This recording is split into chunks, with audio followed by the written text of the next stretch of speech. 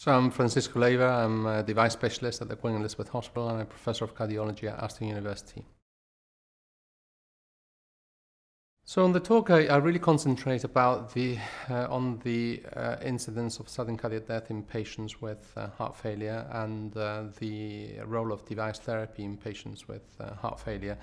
Uh, the recent Danish study was in which um, concentrated on patients with non-ischemic cardiomyopathy has shown that there is no benefit from adding defibrillator therapy in patients with uh, with heart failure and non-ischemic cardiomyopathy.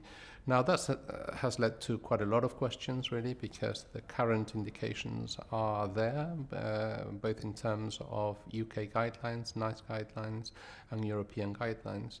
Um, but it's important really to appreciate that the Danish uh, trial may have been underpowered to uh, answer that question.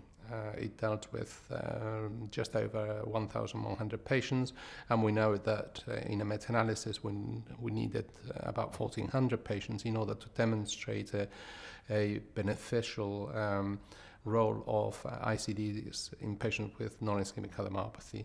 There are other aspects, of course, that uh, in non-ischemic cardiomyopathies can be very varied, um, can be valvular, can be hypertensive, can have scar or no scar, and they have different rates of sudden cardiac death.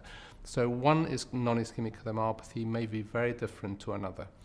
Um, so I, um, I have gone through some various data sets in order to show that, and I think that further studies will be needed because it's very likely that the guideline groups will take notice of uh, the, the excellent Danish study, but it's not the definitive answer as far as ICDs uh, go.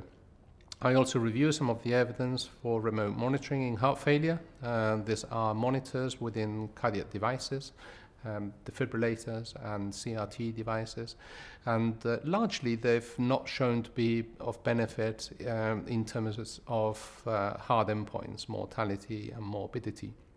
However, I, I, I, think that they are of definite benefit to patients. Uh, I do wonder whether the hard endpoints are really the right way to measure the effect, um, because effectively a remote monitor is a diagnostic adjunct, and it's always very difficult to uh, to demonstrate a mortality benefit from a diagnostic um, tool. Um, and I also uh, touch upon uh, some of the um, uh, studies on uh, device therapy uh, using um, quadripolar leads, which are now a standard of care in most centers, and they've really been shown to be of uh, benefit to patients and to virtually eliminate uh, the need to bring patients back for repositioning left ventricular leads.